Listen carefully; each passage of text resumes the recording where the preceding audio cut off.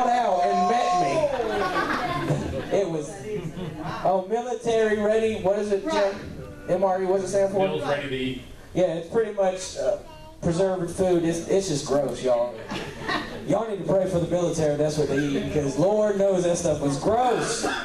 Amen. I really want to talk about under construction. How many know that we are still under construction? That God has no expectations of perfect people, that we are all human. And oftentimes we get tired of each other before God gets tired of us. We get tired of each other so quick it's not even funny. But we are supposed to look through the eyes of the Father. See, God loves us. God loves each and every one of us, each and every one of our flaws. So He likes to use imperfect imperfect people. And if I'm going to prove my point this morning, I guess I need to point out some imperfect people, like Noah that was a drunk, and Abraham that was old, and Isaac that was a daydreamer. Jacob was a liar, and Leah was just plain ugly. Joseph was abused, and Moses had a, st- a st- stuttering problem, and Gideon was afraid. Samson had long hair, and he was a womanizer. And Rahab was just a hoe. Jeremiah and Timothy were just too young, and David was an adulterer and a murderer. Elijah was suicidal. Isaiah preached naked, and Jonah ran from God. Naomi was a widow, and Job went bankrupt. John the Baptist ate bugs, which is just plain weird, and Peter denied Christ. The disciples fell asleep while praying, like half of us in here at 10 to 10:30, and Martha was worried about everything. Zacchaeus was too small, Paul was too religious, and Timothy had an ulcer, and Lazarus was dead.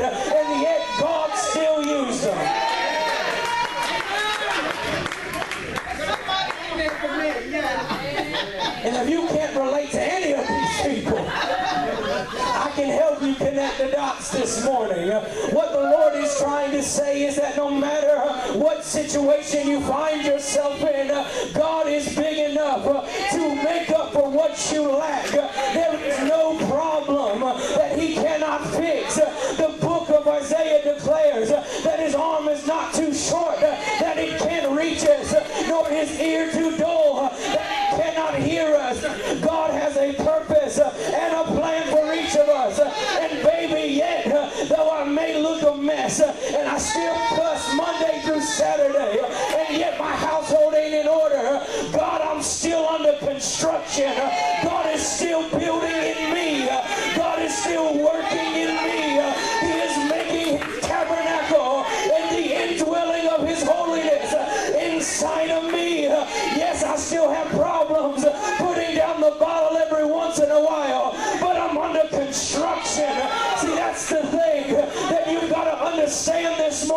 If you would change your mentality, see, half of us in here just believe, oh, I'll never be able to overcome this. I'll never be able to overcome this. Baby, you're just under construction this morning. God is working on you. He is working through you, yet you do not believe it. He is on the throne working. We're going Philippians chapter 1, 1 through 6.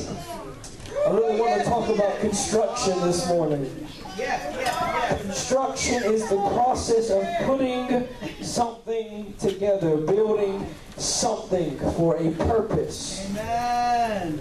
Sports fans build arenas, movie buffs build theaters, saints build churches, and God builds us. This is the very, very simple truth. Are we there? We're not there. I got it right here. 2 Corinthians 5 and 17, don't go with me. It says, Therefore, if any man be in Christ, he is a new creature. The old things are passed away before all things are become new. That means the time you accepted Christ, you became brand new, baby. You like a toy that ain't never been opened with them little twisty things all over you. I'm sorry, I'm an uncle. I have nephews. I deal with the little twisty things all the time. Everything is twisted in place. Held in place too. For a reason. Lord. Philippians chapter 1, 1 through 6. And it says, Paul and Timothy, the servants of Jesus Christ, to all the saints in Christ Jesus, were which which are at Philippi. With the bishops and deacons. Grace be unto you and peace from God our Father and from the Lord Jesus. I thank my God upon every remembrance of you. I really want to stop there really quick. See, this is the very model for what Christian life should be. This right here, the Pauline apostles. I thank my God for every remembrance of you. Paul really deals with the edification of saints and us. So every time we see each other, we should thank God for each other instead of trying to jump in the bathroom to avoid talking to each other. Because we are called to work together in one. So every time I see you, even though I don't like you, and there's some days I just don't like some of you, just say amen. Just go ahead and be real with me. And there's some days you just don't like me because I'm a little rough on my edges sometimes. That's true. But we should still thank God for each other because together we are trying to make this thing work. We're trying to make this thing happen. Have to understand that we are under construction and that we are walking in the blueprint of our Heavenly Father. See, nobody goes to a house being built and say, God, that's a pretty house, when there's nothing but wood and nails. God makes sure the inside is sturdy before dealing with the outside. So it's always in every prayer of mine for you, all making requests with joy for your fellowship in the gospel from the first day until, until now. This is my favorite part. Being confident of this very thing. That he which hath begun a good work in you that he that began a good work in you will perform it until the day of Jesus Christ. There's two things you can get out of there. The first thing is that God's going to complete what he started in you.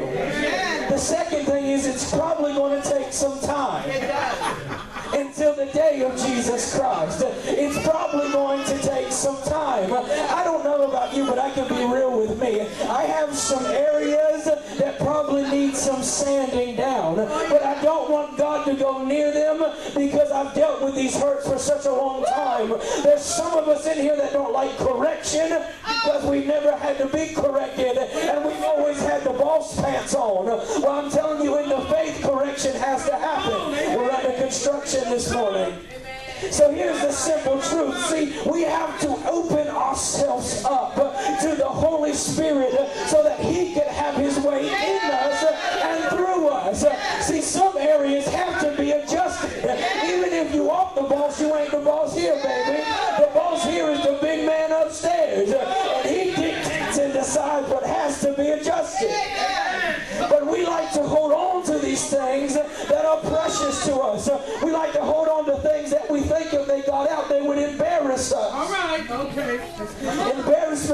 Greatest tools of the adversary because if he can convince you that they will judge you and hate you and make fun of you, you'll never step out and ask for help. The Bible says in the book of Genesis, a man sharpens iron, oh, uh, iron sharpens iron as a man sharpens a man. So we need each other to stay sharp.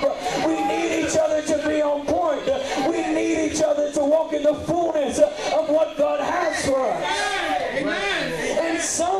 Uh, some of us come on too strong and we get our feelings hurt. Amen. And then the adversary wants us to pull back because they don't like me. Uh, they got all over me. Uh, they said I have to do this and this. No, it's not that. It's not. Correction has to happen. has The point of the church is discipleship. Chasing those who love. That's the word. Hallelujah. This isn't a feel-good espresso shot for the weak. This is to teach you to be a follower of Jesus Christ. This is to hurt your feelings some days. Not intentionally. But some of the saints, y'all gotta learn how to talk to people. We've got to learn how to talk to some people because you can't just yell at people and expect them to do something. See, when I was a child, let me talk about when I was younger. When I was younger, my mother would yell at me to clean my room. And because she yelled at me, I didn't want to clean my room. But I said, I ain't going to clean my stupid room. I'm going to go in there and sit down. And I did. And what happens when you walk in disobedience?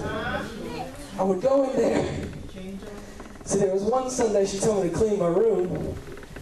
She told me to clean it that Saturday, but I didn't do it that Sunday when she woke up. And we had to leave for church. My mom's number one pet peeve is being late. She cannot stand it. Well, I couldn't find my other shoe in my in my room.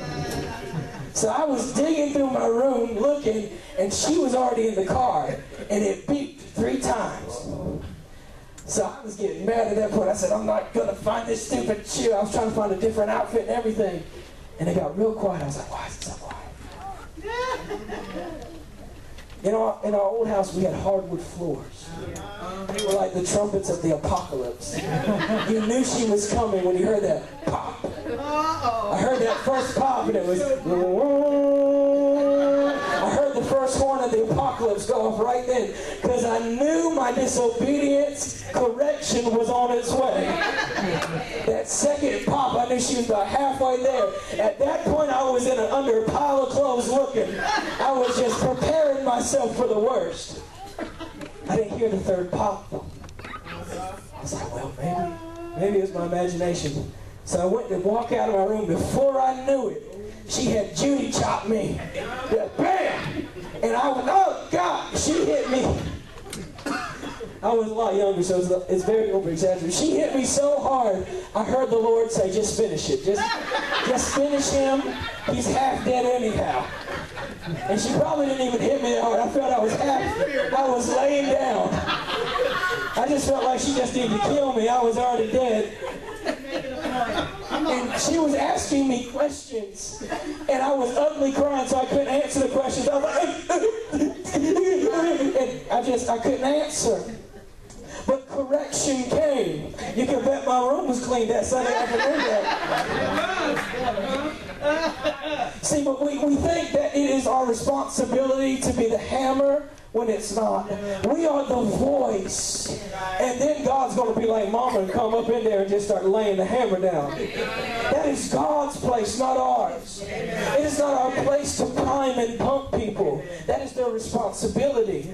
See, the thing about Christianity is you will only go as far as you allow yourself to go. And it does not, it does not shadow uh, the success of mom's ministry anything. It is your life that you will answer for. We can do everything we can to invite the Holy Spirit in. But if you do not invite him in yourself, he will not come. He is not one of those people that just show up. Has to be invited. And the atmosphere has to be prepared for him. There has to be order. That's why in the book of Exodus there is a recipe for the anointing. It isn't just there to be a cookbook, but there is a recipe and it's foreshadowing in the New Testament, there has to be a recipe in a service so that the anointing may produce.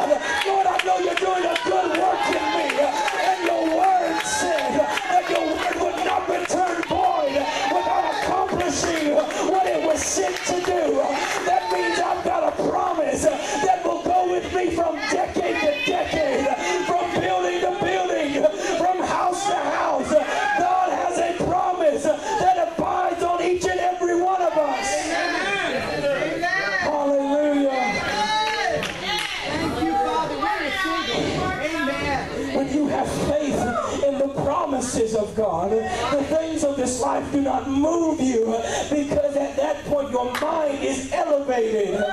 So you have to understand there is three parts of you. There is your spirit man, your mind and your body. Everybody understand that? Your spirit man is connected to the heavenlies.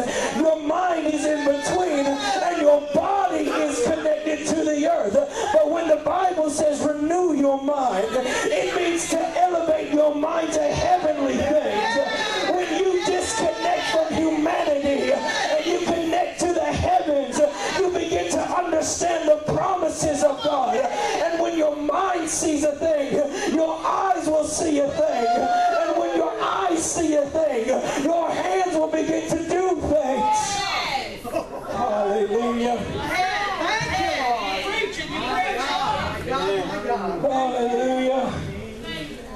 my promise is that he has a good work in store for me. There's a few things that happen on a construction site.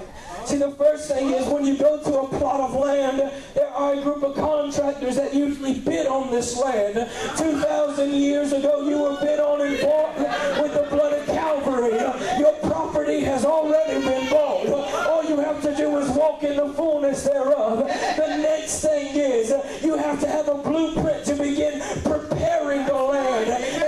And you have to submit it. And Christ submitted a blueprint for salvation. And he walked in the fullness thereof. So then you have to begin to perk the land and prepare the land for building. Yes, yes, yes. Perk the land. Oh, prick our hearts, oh God, so we may be, our ears be perked to the words of your mouth, Father.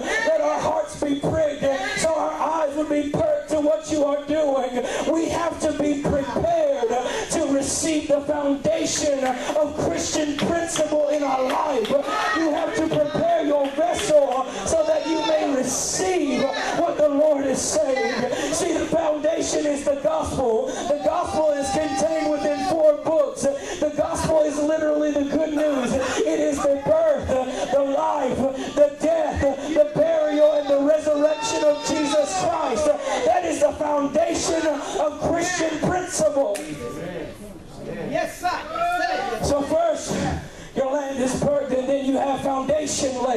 See, some of us, we lay the wrong foundation. See, we always start with Hebrews or, or something easy to read. We start with Galatians, but you cannot start with that trying to lay foundation.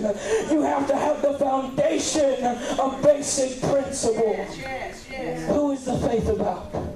What is the mission of the faith? And what do we accomplish when the mission is accomplished?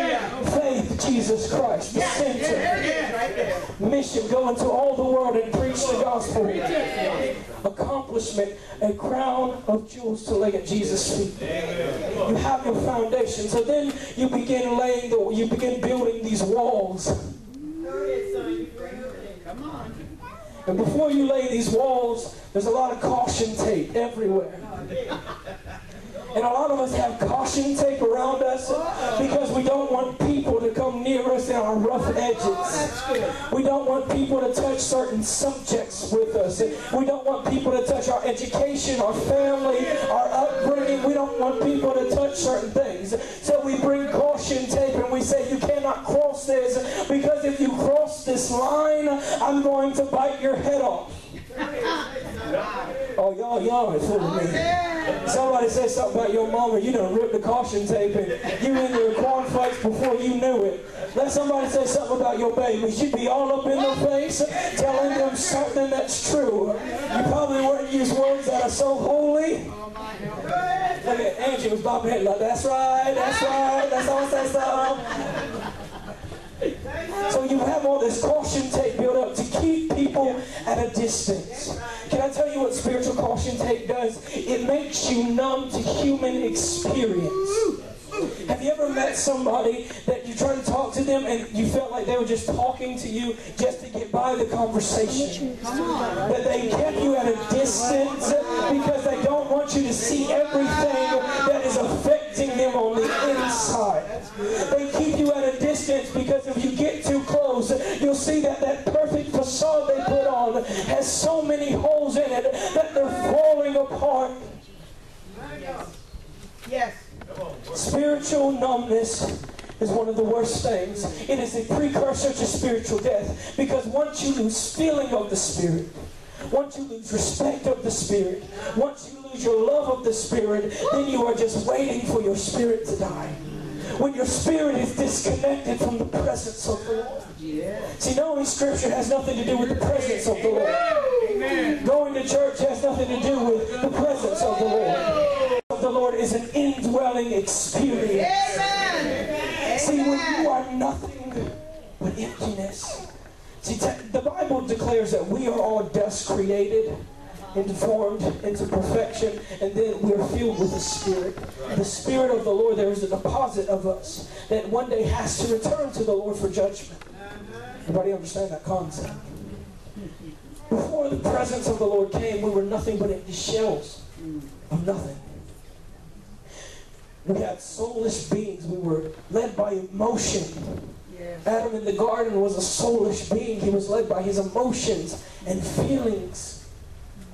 And it wasn't until Jesus Christ that he, Christ gave up the ghost and it went to all men. In the day of Pentecost, the Holy Ghost filled us. When you are filled with the Holy Ghost, he takes your empty shell of nothing and he begins to paint.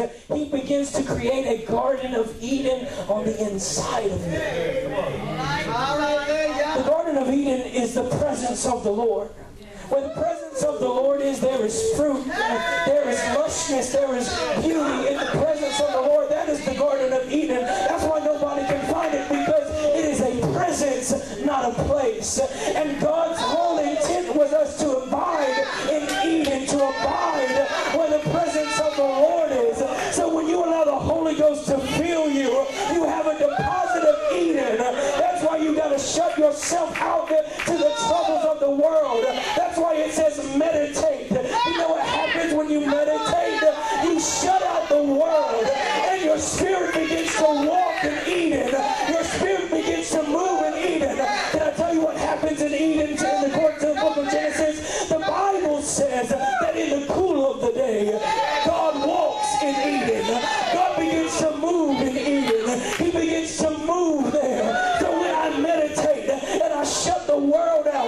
Spirit begins to walk in Eden.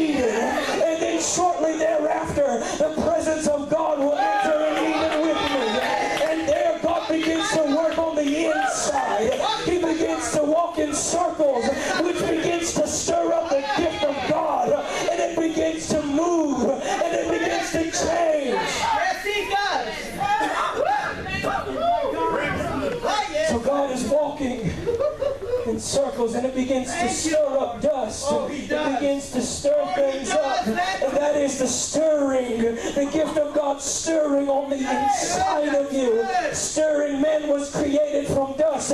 All things are created from dust. God begins to move to stir up and then he begins to create. He begins to form. He begins to give identity. Christian experience is finding an identity in Him, knowing who He is, knowing who He is in us. That is Christian living. That is Christian identity. Him identifying Himself. That's why in the Bible when it says, if we forsake him, he would set us in heaven, turn back, never knew you. Because Christ identifies Christ. He identifies himself. Right. He identifies his reflection. You can go in the bathroom right now and look in the mirror and you be like, yeah, that's me. Yeah. Or if you're me, be like, that's the right there. That's what you would say. When you get to heaven, God will identify himself. You're like, there I am. All right. Amen. There I am. There I am.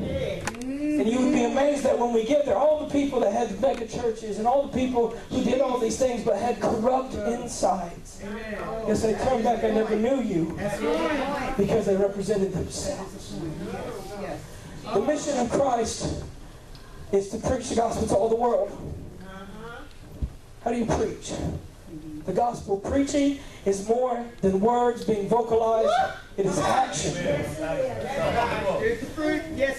There's action in preaching the gospel. I can preach the gospel by giving someone a hug. Because the ultimate gospel, the, the thing that crowns the gospel and makes it the gospel, is the fact that there was no greater love than a man that would lay down his life for a friend.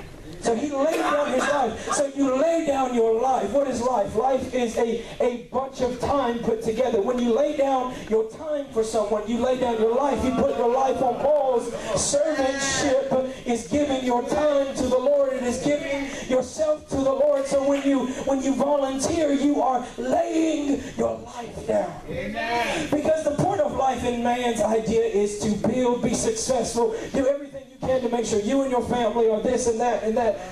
But Christ preaches a very different gospel that you give yourself daily so that people may know Him and love Him. Amen. That's why He says that in, in the book of Revelations that He will come once everyone knows Him. Once everyone has heard. Everyone has heard. Once everyone knows who He is, they have the decision to make.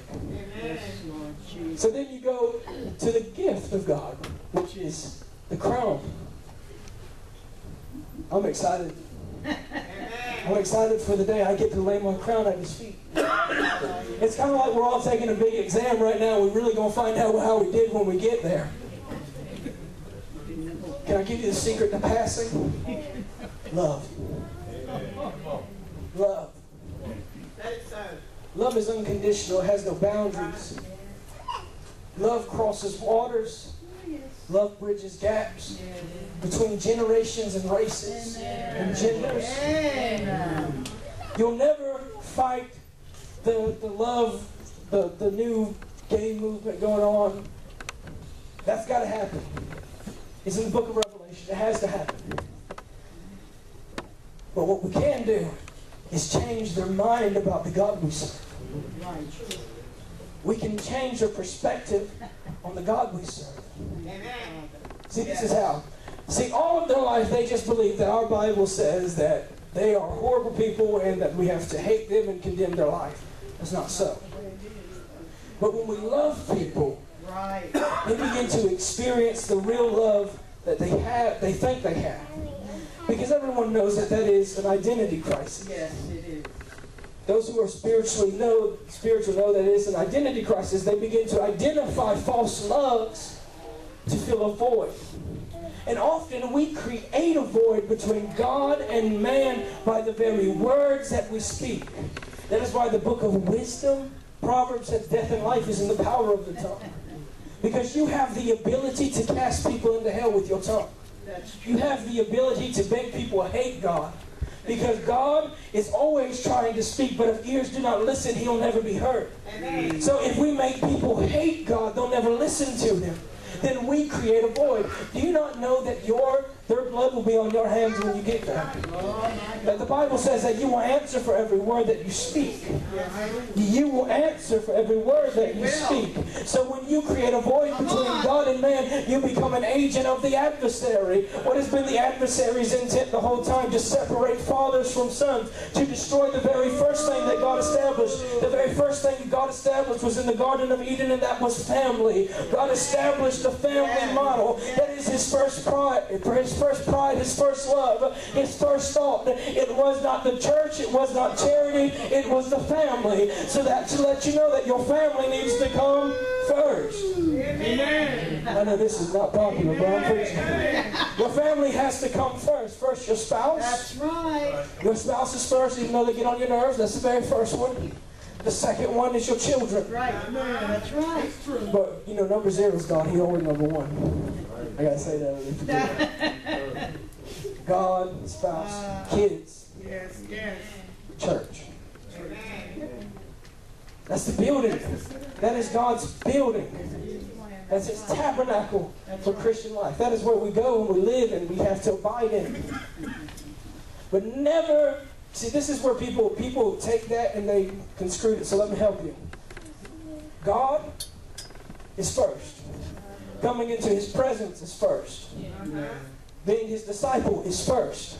That means your attendance should be first at this church, at a church. I know people miss it, but you think, I have God, but God has commandments. The Bible says that he would, he would honor his word above his own name. That means he would destroy himself to make sure his word went to the fullness thereof which it was sent.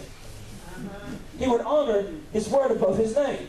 So his commandments is forsake not the assembly. That is what you're supposed to do. You have to be here to honor his word.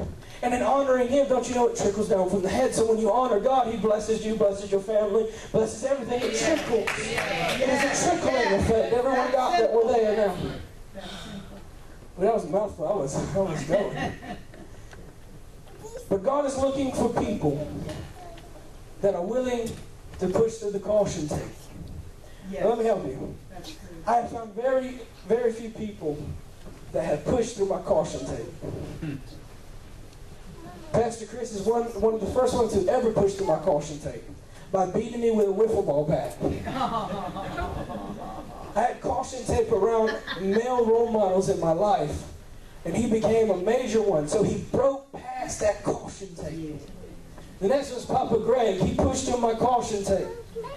I said something to mom one day in a not so nice tune because I was I was ill, and Papa Greg said, "Come on, we're going for a hike." That was the longest hike of my life up that hill. Thank you, Lord. Papa Eddie is another one. That man gets on me all the time about changing my oil. They push through my caution tape, places I have reserved. Jim is a new one that's just doing it now. That man ain't got no future when it comes to it. Jim just let you know there's certain things in my caution tape that have to come to an end so I can take that caution tape down. There are people that need to be there. God chooses certain people to push past people's guards and limitations. God assigns us. He is looking for people that see enough value in us that will tear down the caution tape and say, You're coming out of this. God wants to build where you are sitting, He wants to build something beautiful. See, this is. In 1976, Ronald Wayne sold 10% of his share in Apple for $800. Apple, you know iPhone people? He sold his 10% share for $800 because he did not see the value in what was going to be. And many of us, we discard each other and we sell each other out with our words and our actions because we do not see the value in what they are going to be. But that's the whole thing about God. He sees through heaven's eyes. That's why he knew Noah wouldn't always be a drunk. He knew David would be the man after his heart, not always a murderer. God sees through the eyes of love. You want to know how much a 10% share is worth now? It is worth $58 billion right now. $58 billion for a 10% share. And he sold it for $800. There is a blessing when those go and they pursue. They pursue those who are hiding behind caution tape. After caution tape, you begin building walls. Once all the caution tape is out of the way, that is when God begins building. That is where discipleship comes up. That is where your walls come into place. So he begins building. So God has a certain order. He has a very certain order to things. He ordained five to be builders for him apostles, prophets, teachers, preachers, evangelists. Got that? And then within them, he gave the ability to appoint. The apostles can appoint deacons and elders and bishops and so on and so forth. But he ordains five to be, to be builders for him. These five will challenge you, edify you, and bring you into the fullness. Amen. Takes hands to work. Hold hand. Amen. Man, do the hand thing. All right, everybody hold your hand up. Amen. You're going to learn the hand of God this morning. Your thumb, hold it up. Yep. Everybody say, what's up, dude? Cool. Your thumb is the apostle. It is the index finger of the hand. It, it guides and it leads. It leads the hand of Christ. Hold your pointer finger up. That is the prophet of God. It will point out everything wrong in your life and it will give you direction and guidance and it will let you know what is and what isn't. Don't hold that middle finger up. Hold it up like this, please. That is the evangelist. It goes the farthest. It reaches wherever you are. That's what all of us are called to do. The evangelist of the gospel. How do you lay your life down? Give your time. Give your energy. Give love. Give up yourself. Be a sacrificial being for Christ. Then you have your ring finger, which has a major vein that runs to the heart. That is the pastor. It connects to the very heart of the people and the very heart of God. Then you have the pinky finger. which is the teacher. Uh-huh. Gets all up in your ears, let you know. Tells you all about the things of God. Some of y'all don't do that. I know you didn't clean your ears this morning. They'll be wiping earwax on these chairs. The ushers will tase you. So you have the fivefold ministry that is has been ordained and has been sent to begin to build walls. It begins to teach you what walls do. They protect you. They keep you safe. They keep you within a guideline. Oftentimes, when we're walking on this thing called Christianity, we think that there's fences keeping us in, but they're really guardrails keeping us from falling into destruction. They are guardrails. They are not fences to keep you in anything. God does not say you can only go here. He says, don't go here or you will find destruction. Wow. Yes. Say, I'm under construction. Under construction. Hallelujah. So then we move on and we're building these walls and they begin to teach you about the principles of being a disciple of Christ. They teach you what is uh, spooky spiritual and whatnot. Everybody understand what a spooky spiritual is? A spooky spiritual. Oh Lord, help me. Say this. A spooky spiritual is, my, is a term my mom taught me. When I was coming up as an evangelist, I was I was getting to go a lot of places and I was really excited. And there were some really charismatic people. Mm. Really charismatic. They were bolts of energy. And I thought they were full of the Holy Ghost. The Bible says that there will come a day where they will have a zeal for the things of God, but not a knowledge, not an understanding for who He is. We have many people these days that are called, we call spooky spirituals, that walk within signs and wonders, and they do all these weird things because they are working off of a feeling, a conjured thing that they make within themselves. But the Holy Ghost, this is what the Holy Ghost does. The Holy Ghost clicks with the Holy Ghost. The Holy Ghost identifies the Holy Ghost just as Christ identifies itself. So when the Holy Ghost is active, the Holy Ghost in you will be like, hey, there it is.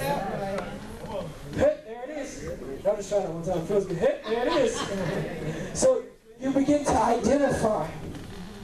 Jeremiah 18, 1 through 6, and it says, The word of the Lord came to Jeremiah from the Lord, saying, Arise and go down to the potter's house. Really crazy that y'all sang that this morning. And there will be, there will cause thee to hear my words.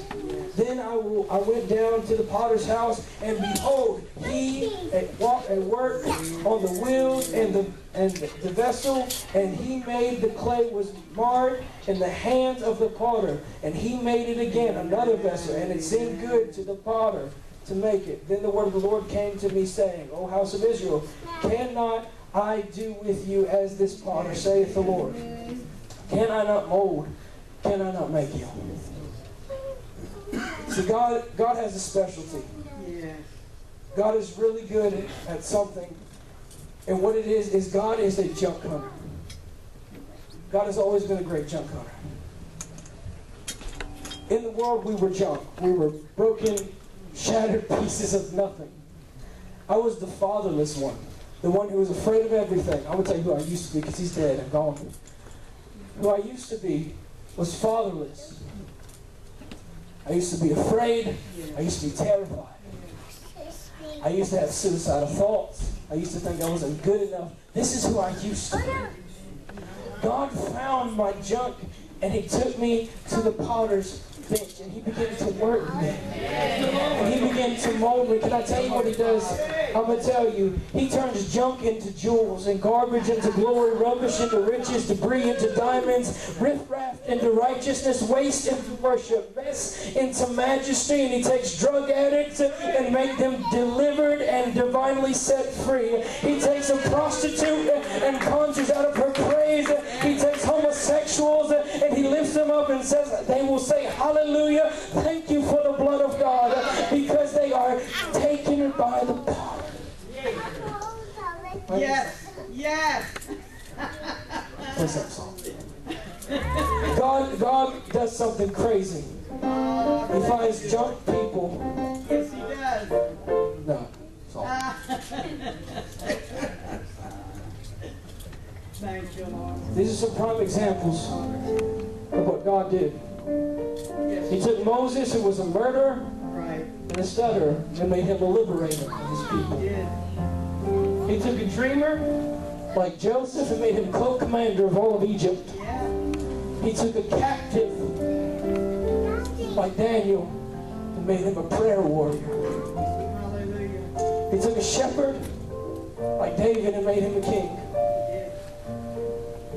He took an old country boy like Billy Graham and made him the world's greatest evangelist. He